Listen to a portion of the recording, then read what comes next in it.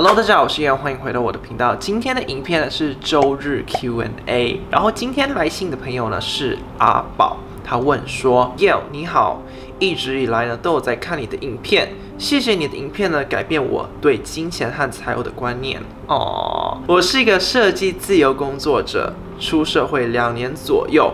一直呢都还过得去，只是呢在去年年尾开始，本地市场不景气，我接不到案子，手上呢在谈着几个案子的收费呢都还不确定，必须等待一段时间才会进来。因为一些原因呢，我没有办法跟家里借钱度过难关，家人呢甚至不知道我在外。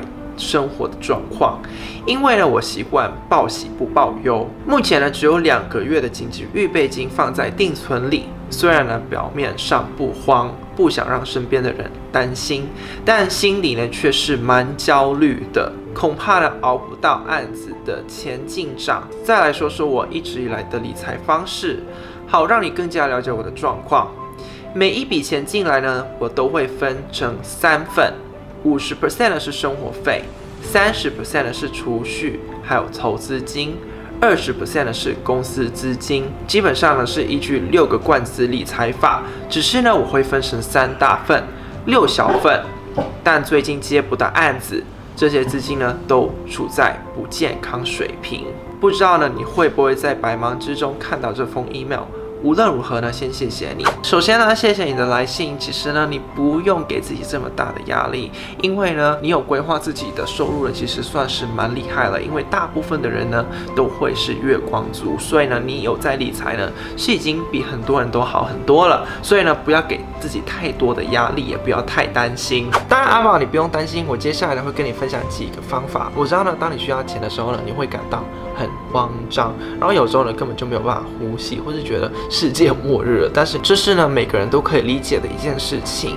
当你慌张的时候呢，有时候会感到没有办法呼吸。这个时候呢，我要你闭上眼睛，然后深呼吸。当你闭上眼睛深呼吸的时候呢，我要你数着你可以感恩的事情，因为这个呼吸跟感恩的练习呢，可以让你知道，其实你所有遇到的事呢，没有那么严重。冷静下来呢，你就可以想到处理的方式是了。好，那现在呢，我要跟你分享的第一个方法是。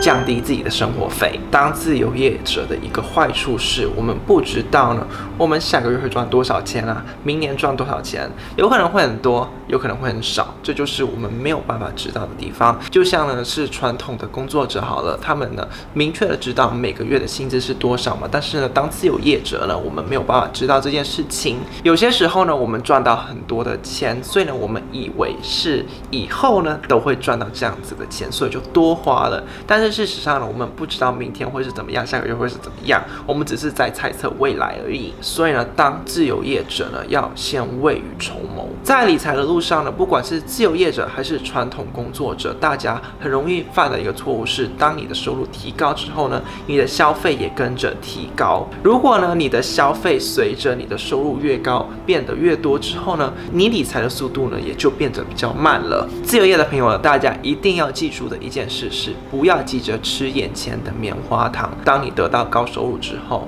不要立即就提升你的生活品质跟消费。我们呢要延迟享乐的时间，先为未来准备。因为呢，我们不知道自己的未来会是怎么样，自己的收入会是怎么样，所以呢，我们要多做出心思来为这一方面做准备。你要想哦，身为自由业者，你已经有一个好处，就是呢，你比传统工作者自由很多。就是呢，你想要在哪里。工作就在哪里工作，什么时候工作就什么时候工作。你不需要被一个办公室困住，也不需要被朝九晚五的时间控制住。所以呢，你已经有比别人一个好处呢，就是自由。所以呢，你就先享受你这个自由，那个钱呢，那个生活品质呢，以后我们再来享受。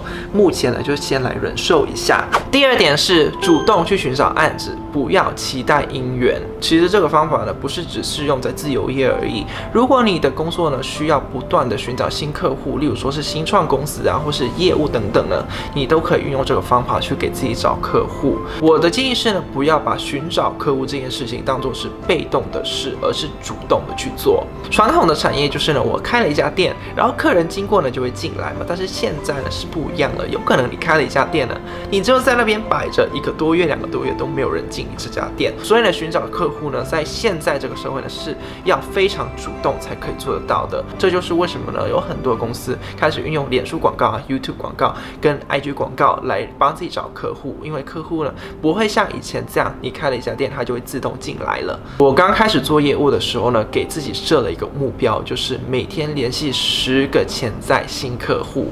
这个数字呢，其实也是很笼统的，你要看你的产业是怎么样子。例如说，你那个公司的产品是非常贵，比如说几百万、几十万的那种，那可能，你每天只能联系一个，或是一个礼拜一个等等的。但是呢，如果你的产品呢，就比如说像几百块、几千块这样子，那也有可能呢，就需要联系比较多的客户。每天呢，要联系多少个新潜在客户呢？其实要看你的那个产业。但是我的重点就是呢，每天都要有行动。而且呢，行动量一定要大，因为你看哦，你联系的十个潜在新客户呢，你觉得那十个都有可能会回你吗？还是在那个十个之中，有多少人会回你？以我的经验来看呢，你可能联系了十个人，那十个人呢，都可能。不会回你的讯息，所以呢，当你联络到越多人，你寻找到你的客户的几率就提高了，也就等于 c h a 第三点是，如果真的都不行的话，嘿，你可以在收入比较低的那个月份啊，去找一份工作或是打工来维持你的生活。我知道呢，当你做一个自由业者后，找一份稳定的工作，这是一个 crazy idea，我们根本就不会再想要稳定，然后或是受一个办公室。或者时间困住，我知道很多自由业者呢，他们享受到这个自由之后呢，就跟自己发誓说，以后呢再也不要找平普通的工作了。所以呢，可能呢你没有想到这个方法，但是其实呢，钱没有分贵贱，钱呢不会歧视。为了生活养家赚钱而做一份自己不喜欢的工作呢，其实不羞耻。那些什么都不做，让家人自己饿死的人呢，才是羞耻的。每次讲到这一点呢。我都会联想到《哈利波特》的作者，你知道 J.K. Rowling 他刚开始在写书的时候呢，他是没有在写作这一方面赚到钱的，而且呢，他还有自己的小孩要养，他是一个单亲妈妈，所以呢，在这个时候呢，他也没有放弃自己的梦梦想，他也没有说为了要专注在自己的梦想，什么都不做，就是专心在那边写作，他也不会这样子，因为他知道自己有养小孩的责任，所以呢，他就接了好几份工作，一边工作呢，一边经营自己的梦想。我知道，刚开始当自由业者的时候呢，你可能收入很不稳定，或者说呢，你收入根本就很少。这个时候呢，你就可以想一下，是不是可以接一份工作，然后一边做稳定的工作，一边做自由业。